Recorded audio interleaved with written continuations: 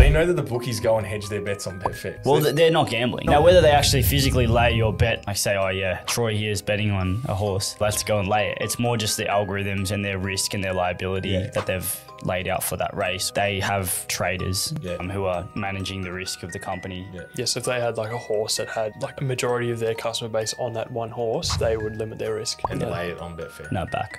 Back.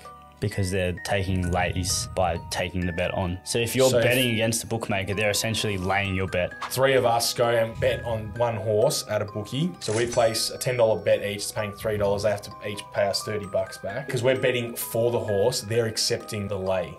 Yeah, They're they're liable. correct. All right, that makes sense. Because now that's what we're when you go on Betfair and you Yep. lay a horse, you're accepting the liability. Correct. So that's why you, You're the bookie. You're the bookie, Essentially. but you're still putting a bet on the bookmaker. So either way, you're coming out. Yeah.